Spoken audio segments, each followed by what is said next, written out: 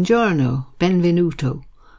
Hello and welcome to the very first episode of the very first City Breaks series, City Breaks Florence. City Breaks in general is going to take um, various places that you're likely to visit in a city if you go there on a city break and look behind the scenes a little bit and tell you the history and the culture and something about the personalities of the people who are connected with that place. But for today, I'm not really going to start with that. I'm going to start with an introduction to the Florence series and mention some geographical and historical facts to set things in context a little bit and talk briefly about some of the themes that will keep recurring as we go through the remaining 18 episodes, which will be on the places to visit in Florence itself. But just before we do that, one little remark that I found interesting. Um, if you think of Florence, even if you don't know much about it, you probably think of it as a city full, full, full of sublime works of art, and you certainly wouldn't be wrong about that. But I thought it might be interesting to just point out that to the Florentines themselves, their city is also known as the city of Mangiafagioli, which means the city of the bean eaters. So they're quite up for the sublime end of the scale and the very prosaic at the other end. And I'm hoping that our series will cover both those things and everything in between.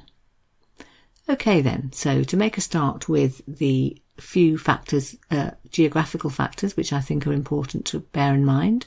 Um, Florence, of course, is a North Italian city, and bearing in mind that its heyday was in medieval times and during the Renaissance, it's important to remember the geography of Italy makes it very cut off. It's a peninsula cut off by the sea on three sides, and of course across the northern end by the Alps.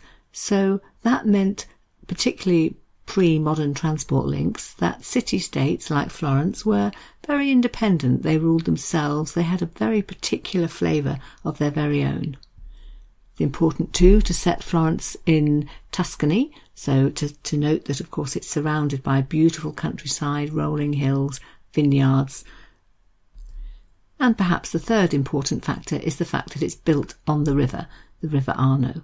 That becomes hugely important at various points, particularly five times during the last uh, centuries since uh, 1178, when the river has flooded majorly, causing massive destruction um, last time being in 1966.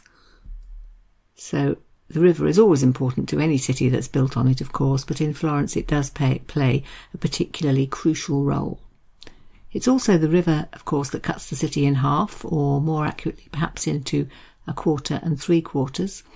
And if you look at an old fashioned map of Florence, you'll often see that it's got four coloured quarters, three of which are north of the river, that will be the red quarter, built around the church of Santa Maria Novella, the green quarter, around San Giovanni, and the blue quarter, around Santa Croce. Of course, it's no coincidence that three major churches were seen as the focal points of the various areas of the city, because Florence was a city in which church life and cathedrals played a massive role. What about the fourth quarter? I can hear you wondering. Okay, well, that's south of the river. That was known as the White Quarter, and it was clustered around the church of Santa Spirito. Thinking about the geography of Florence a little further, um, important to mention what used to be a hill town known as Fiesole, which overlooks the city. It's practically part of the city these days. It was Roman in origin. It became a, a rural retreat for wealthy Florentines, particularly during the 19th century. And you may recall, um, if you've read A Room with a View by E.M. Forster, that it was also the goal of excursions. Um, some of the characters there went out to Fiesole and had a, a particularly dramatic uh, afternoon, which you may have read about. And then lastly, the just to say that the city is fairly compact. Um, it's got an inner zone that's largely car free and which centres around the Piazza del Duomo, or the Cathedral Square as it's called in English. Um, that cathedral with the brown dome designed by Brunelleschi, which is recognised the world over, which is probably the symbol of Florence on the biggest number of postcards ever sent from the city. Uh, there's a second square that's almost as important. That would be the Piazza della Signoria, just a few moments walk away from the Cathedral Square. Piazza della Signoria is actually much bigger, um, and you're bound to find yourself crossing it in all directions as you go from one site to another. Turning then to history, I'd like to give an overview without getting too bogged down in the detail. So, obviously, Florence started as a small settlement on the banks of the river and grew and grew, and perhaps the first key date to mention would be 1173, which is the year in which work was started on building a new city wall. So, Florence very much at that stage becoming a city, feeling it needed to defend itself from outsiders. So the Florence of the 1200s was very much dominated by one major conflict, which ran for decades between the Guelphs and the Ghibellines, two rival factions. The Guelphs were people who, by and large, supported the Pope, thought the church should play a role in running the city. The Ghibellines begged to differ, they were their opposers.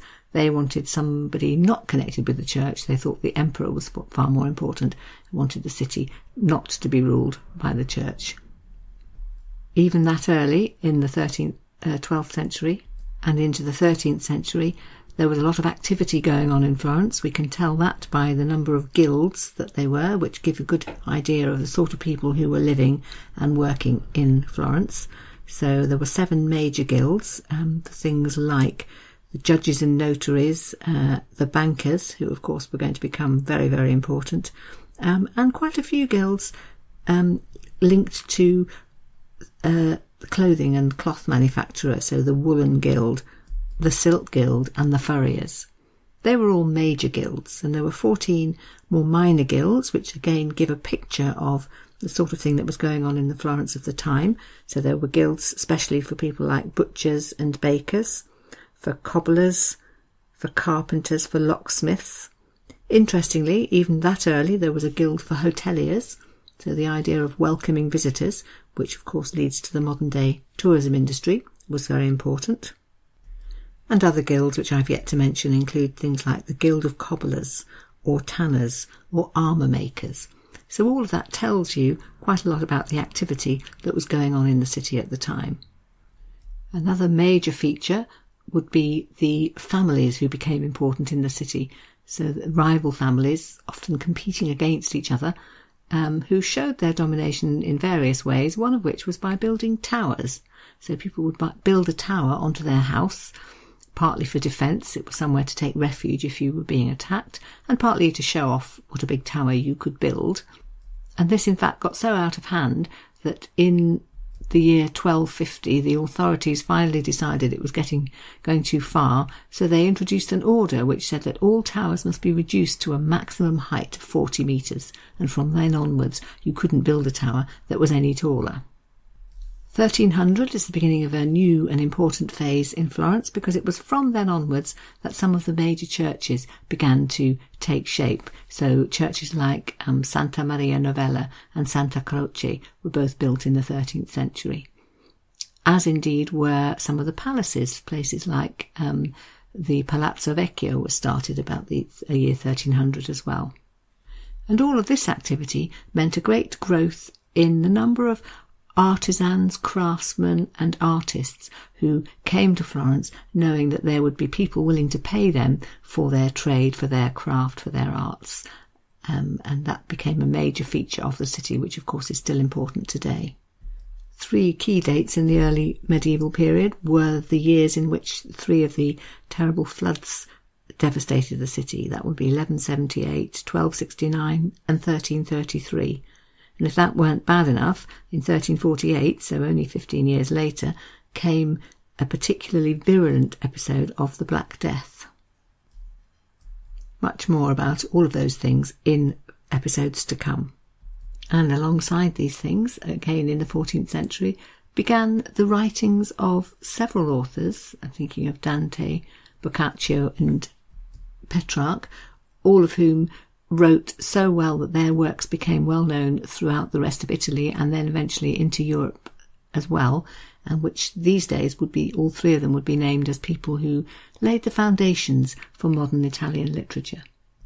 In the early 15th century, a key date, the year 1413, is when the Medici family arrived in Florence, and they, of course, were going to become very important and rule the city over several generations, well, for 200 years in total, they were important uh, very much because they were, in many cases, strong rulers who left their mark on what happened in the city, but also because some of them, particularly uh, Cosimo de' Medici and his grandson uh, Lorenzo il Magnifico, Lorenzo the Magnificent, were very enthusiastic patrons of the arts.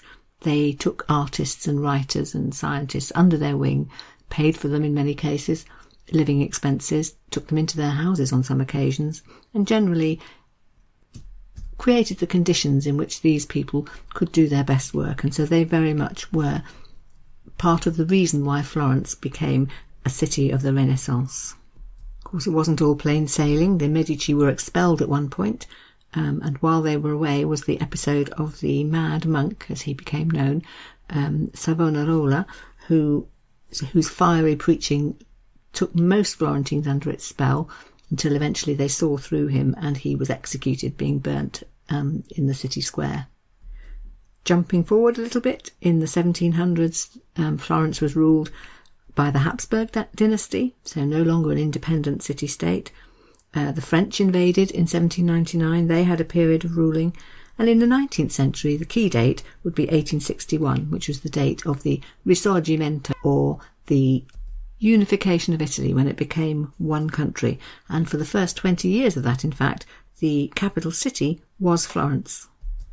And then moving into the 20th century, uh, there's the rise of fascism. Mussolini came to Florence and brought Hitler with him. World War II, and the date at which I propose to end the history period is 1966 with the last great flood. Being the most recent of the five major floods, it's the best documented, so we know, for example, that 15,000 cars were wrecked uh, during the night that the River Arno rose up and the filthy water and mud flooded many of the streets, particularly down, obviously, in the central area, the, the lowest part of the city. 6,000 shops were put out of business and nearly 14,000 families were made homeless. So that gives you an idea of the extent of the damage, as does this quotation which I'm going to read from Christopher Hibbert's book, Florence, the Biography of a City, in which he writes the following. Treasures in the refectory of Santa Croce had been blackened by the mud. On the right wall of the nave of the church, Donatello's Cavalcanti Annunciation was soaked with oil to the level of the Virgin's knees. Inside the Pazzi chapel, the water had risen to about two thirds of the height of the Pietra Serena arcading. The flood waters had, waters had submerged the cloisters of Santa Maria Novella and the Ognissanti and cascaded down the Via Ghibellina smashing the windows of the Casa Buonarroti. And then he goes on to write, Indeed, in the centre of the town, scarcely a monument or a church had survived unscathed. So, in addition to all that personal devastation and the problems for the city of Florence itself, there was, of course, also the massive problem of the terrible damage that had been done to the artworks. And it was notable that a whole army of people from all over the world, many young people, lots of students, arrived and offered their help in the rescue operation. So they formed human chains and hauled pictures out of muddy churches and packed precious works of art away in plastic bags and sent them off so that the restoration and clean-up operation could start. If you want a reminder of the flood in today's Florence, as you walk through the city centre, you'll often see little marble plaques on the walls with a red line on them, and that red line is showing what level the floodwater reached it during the 1966 floods. So that's a brief rundown then of the history of the city, except perhaps to just mention 2017, when you may recall that um, one Theresa May chose Florence for one of her big Brexit speeches thus reminding everybody that Florence still has a part to play as an important city in the European Union. Okay, so moving on from history to themes, wanted to just mention some of the things for which Florence is particularly well known, things that are going to keep being mentioned in the various podcasts that are coming. I think we can very much say to start off with that Florence is a city of churches, so many churches, of which the big three are the cathedral, so the Duomo, Santa Croce and Santa Maria Novella, and each of those will have an episode devoted to them uh, further on in the series, as indeed will the Church of San Lorenzo, which was the home of the Medici family, their family church, if you like. There are plenty more large and wonderful churches that I won't be covering, so for example, Santa Trinita um, and Ognissanti. Also, of course, there are convents and monasteries. We'll definitely have an episode on San Marco, which is the monastery full of wonderful frescoes, mainly done by Fra Angelico. So, a city of churches for sure. Another word that strikes me as soon as I start thinking about Florence and reading any history is the word rivalry. It does seem to have been a city in which factions arose and very much made each other's life difficult. So we've talked about the Guelphs and the Ghibellines already, um, and we've talked about the families and their towers. They had some spectacular fallings out because they were business rivals. Um, one of which will be retold in the next episode about a murder in the cathedral, which was basically down to a business argument. So, families that you might come across, we've talked about the Medici already, but you'll see a lot of other names. Um, if you look at a map and look at what some of the buildings are called, or some of the roads, you'll find names like um, the Casa Buonarroti. It's obviously a house built by the Buonarroti family. Uh, Michelangelo's real name was Michelangelo di Buonarroti. Then there are palaces like the Palazzo Pitti, so the Pitti family, uh, the Palazzo Strozzi, another big banking family. Um, one of the Medici palaces, in fact, is called the Palazzo Medici Riccardi, so obviously more than one family um, had input into that, um, and so on and so on. These families intermarried, of course, because they often wanted their sons and daughters to marry someone equally well off and equally influential. But that notwithstanding, I think we can say that by and large, the family sagas in Florence were an example of rivalry. So, the city of rivalry. Um, another aspect is trade, banking, prosperity. Florence has always been a well off city. It started in medieval times, particularly with the cloth trade.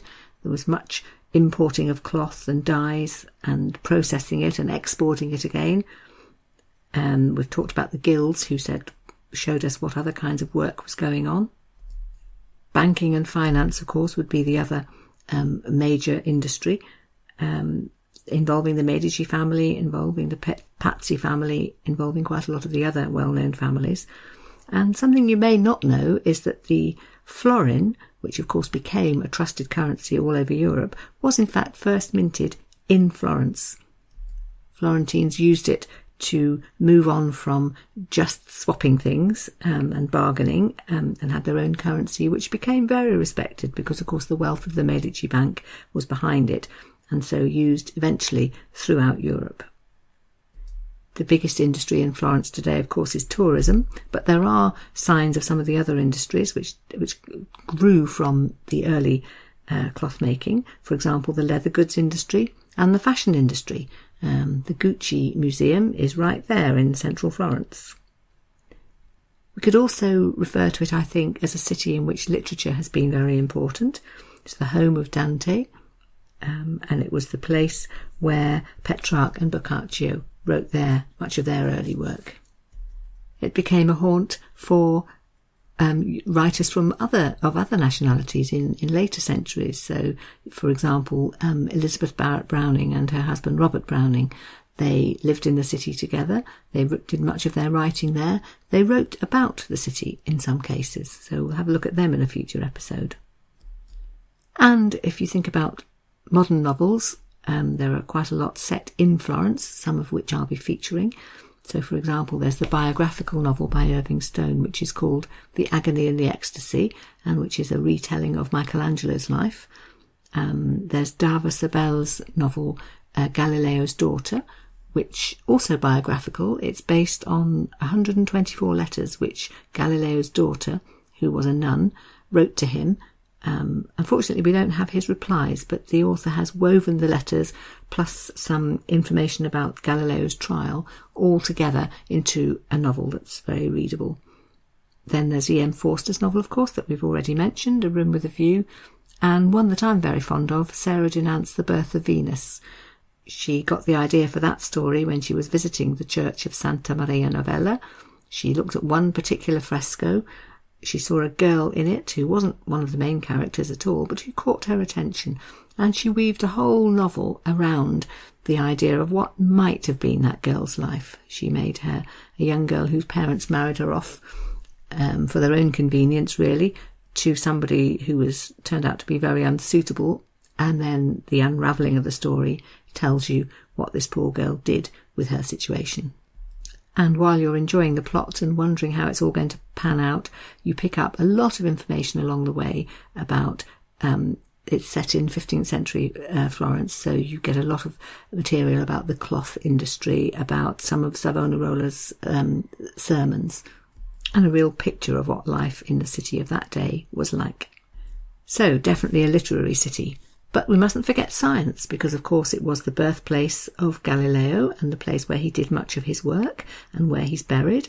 Um, but it's not just uh, his influence that makes it a city of science. Not long after he died, one of the Medicis founded something called the Accademia de Cimento, the Experimental Academy, which was a forum really for scientists to come together to do their experiments, talk about them, tell each other about travels they'd been on and what they'd learnt, and which really encouraged science in the city. And today, of course, you can still visit the Galileo Museum, which uh, tells the story of science that was done in Florence. But perhaps most of all, above all these other connections, the one that really stands out that most people would think of first would be Florence as a city of the Renaissance and a city of art. It's the home of world famous works such as Michelangelo's David or Botticelli's The Birth of Venus. It's the city which is the home to such lovely galleries as the Uffizi and the San Marco convent with all its frescoes. And once you start reading about the history of Florence, you realise that it was the whole city really was a, was an arty workshop for periods of time from the 1300s onwards when the big cathedrals were being built. Artists and craftsmen came to the city, met each other, collaborated. Masters took on apprentices. There are stories which I'll relate later of apprentices who actually went on to become far more famous than their quite famous masters. So we really have to think of it as a, as a community of where lots was being created, beautiful things being made and enjoyed and commented on and left for posterity. Florence is very much the home of the fresco. The frescoes are those wall paintings that you see. The artists um, discovered that if you painted your fresco onto wet plaster, paint that was fresh, i.e., fresco, then it would last much longer. So, that, of course, is what they started doing. And um, it's from Florence that we get that word.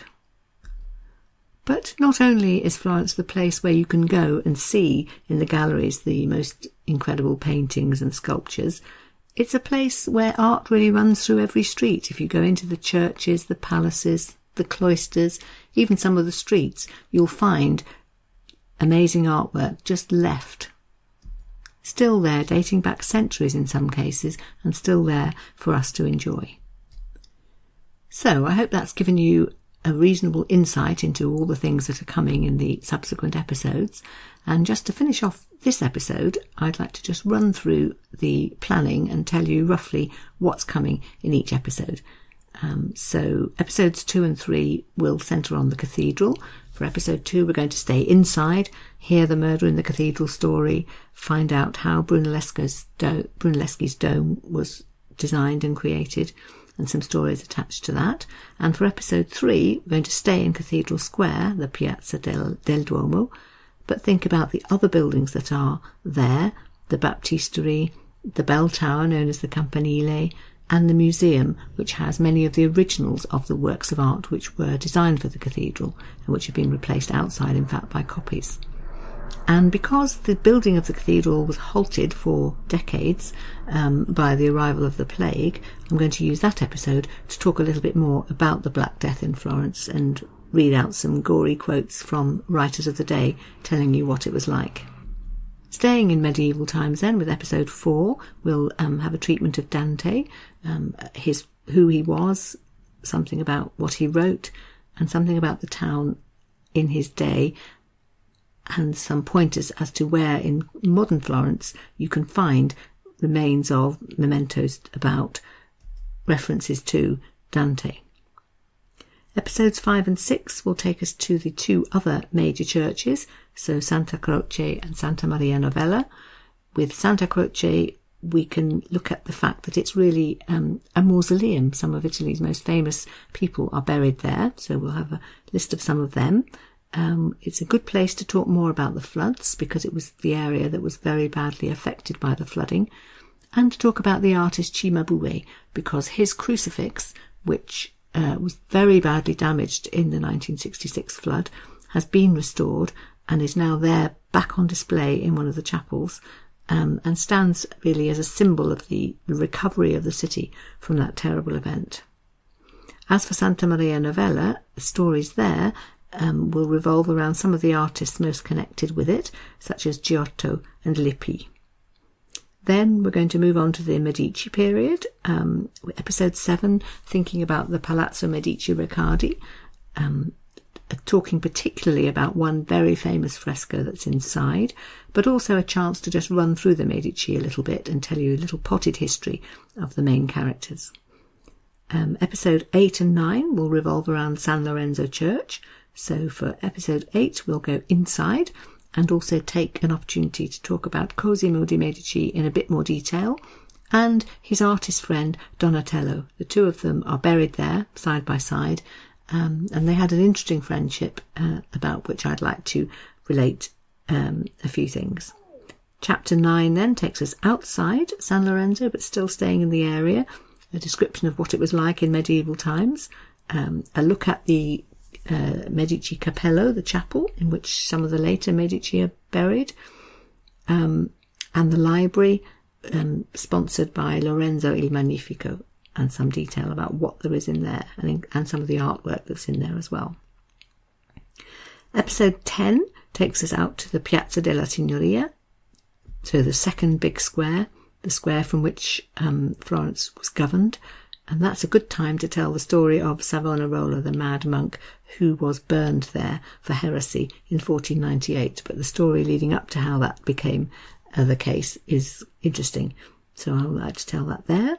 And then episode 11 will go inside the Palazzo Vecchio, so that's the actual building in which the Signoria met. Um, and episode 12 will deal with Machiavelli. Machiavelli operated from the Palazzo Vecchio. So it'll be interesting, I hope, to hear about his life, read some of his writings, and find out exactly what we mean when we say someone's Machiavellian and why his name led to that. Episode 13 will centre on the Palazzo Pitti, so the palace across the river into which uh, the first Duke Cosimo de' Medici moved because he had um, his Spanish wife and ten children and the Palazzo Vecchio that they had been living in got too small. Plus, I think he was a bit fed up of living over the office, so he had a big new palace um, renovated for him. Episode 14, slightly different, um, will be on Galileo and science in Florence. Uh, 15, 16, and 17 will all deal with things artistic. So for episode 15, we'll go to San Marco, the monastery, and talk about two artists seen there, Bartolomeo and Fra Angelico. And in episode 16, we'll focus on Michelangelo and talk about the two museums which have got his most famous works of art in them, namely the Bargello and the Accademia.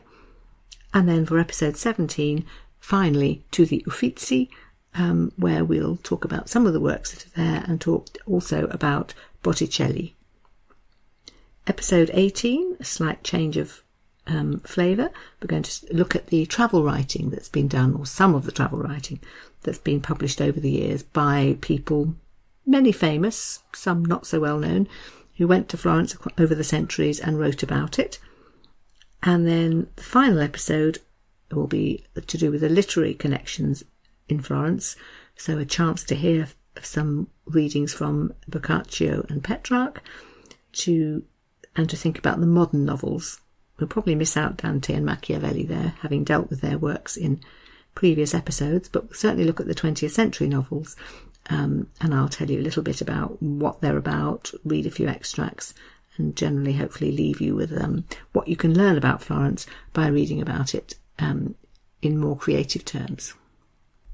And that'll be it. So, just before I sign off, I wanted to finish with one last thing about Florence in general, which is a reference to the Stendhal syndrome.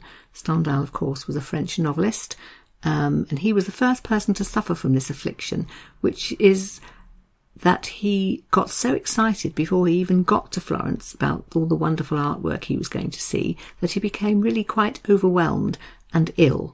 And this was then found to happen to other people. And his name was given to the syndrome.